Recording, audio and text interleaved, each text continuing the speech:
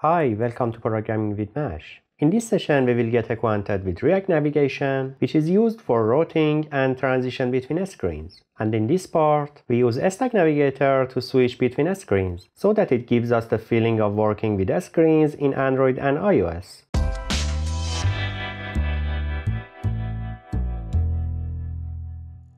In the previous session, we learned how to create and use custom components. And with it, we were able to create a button and header component to our liking.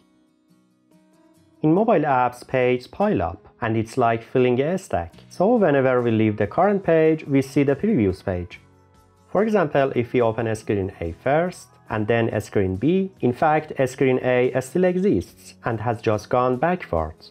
So if we exit a screen B by pressing the back button, we will see screen A again. To use this feature in React Native, we use React Navigation. First, we go to its website and copy the installation command from the docs section.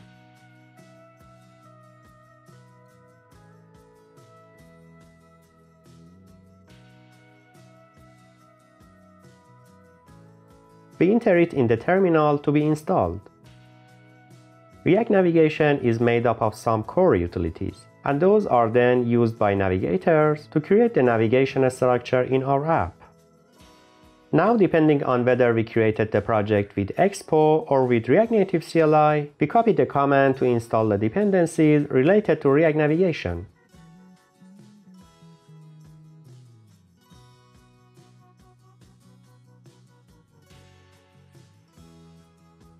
So now to use the Stack Navigator, we go to this section and copy the installation command to enter in the project.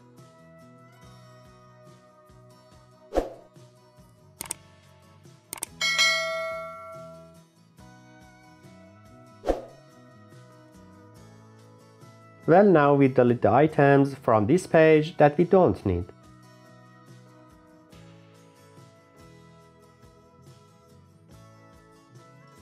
I create the app function and to use navigation, I use the navigation container component inside.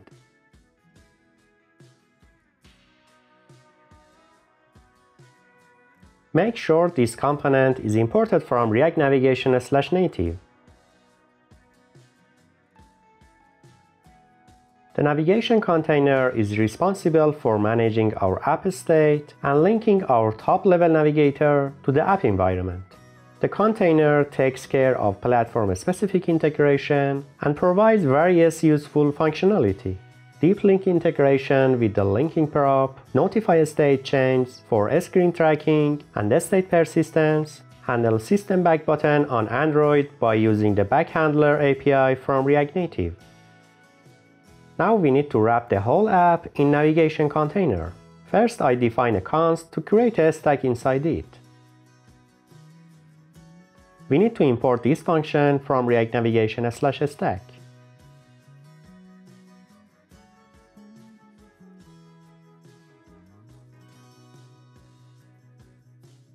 Now from the stack we created, we create a navigator and we create a screen inside it.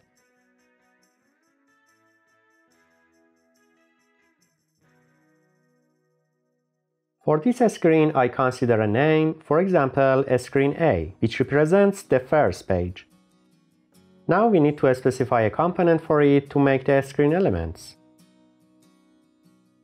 I create a component inside this file.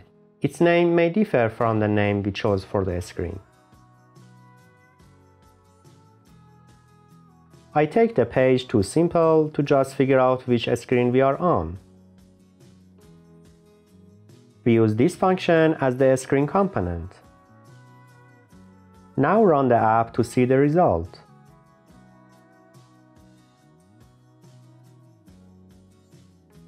Well, as you can see, the app ran with a screen called screen A. I styled the component we created to make it look better.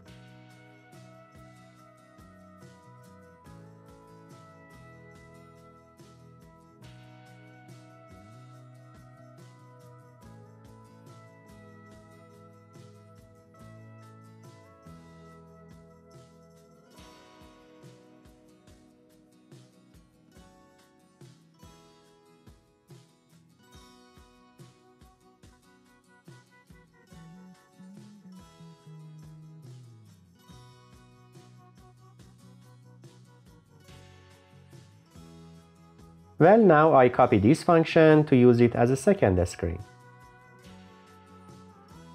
I call it a screen B. In Navigator, I create another screen and change its name and component to a screen B. Now I create a button below the text of screen A to go to the second page by touching it. To do this, I use the pressable component.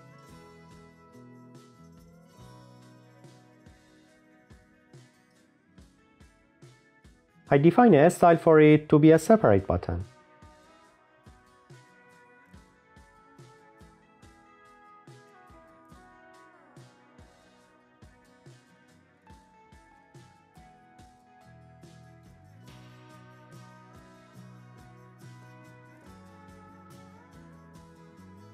Now in onPress, we define a function for it that takes us to a screen B.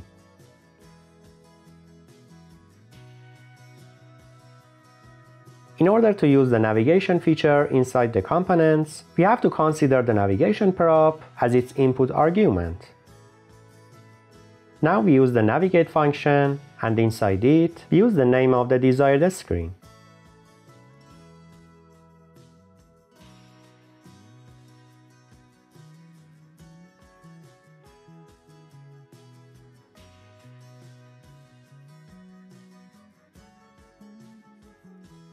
As you can see, we enter the screen B by touching the button. And because screen A is behind it, by pressing the back button on the header, we return to the previous screen. The back button on the header only appears when there is a screen to go back to. Now on screen B below the text, I create a button to work similar to the back button on the header. I copy the previous button and use it. Similar to the previous component, we create an onPress handler function, and this time we navigate to screen A.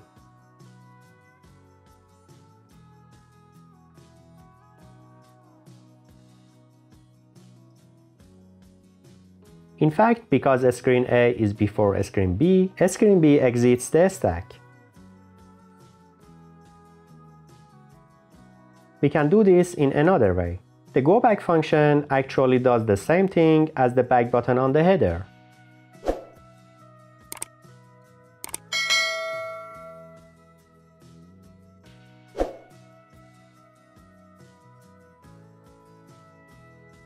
If we use the replace function instead of navigate, the current screen will be replaced by the desired screen and will exit the stack itself.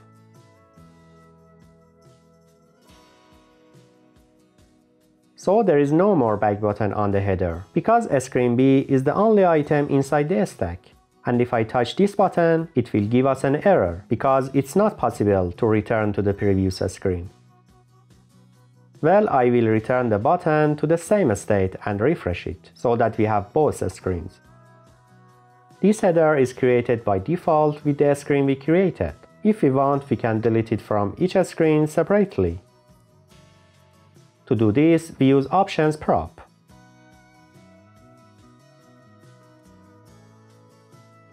We did this for screen A, and screen B should still display the header.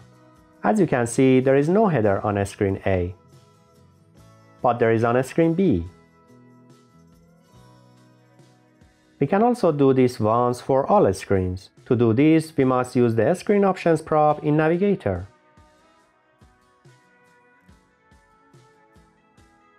As you can see, the header has been removed from all screens.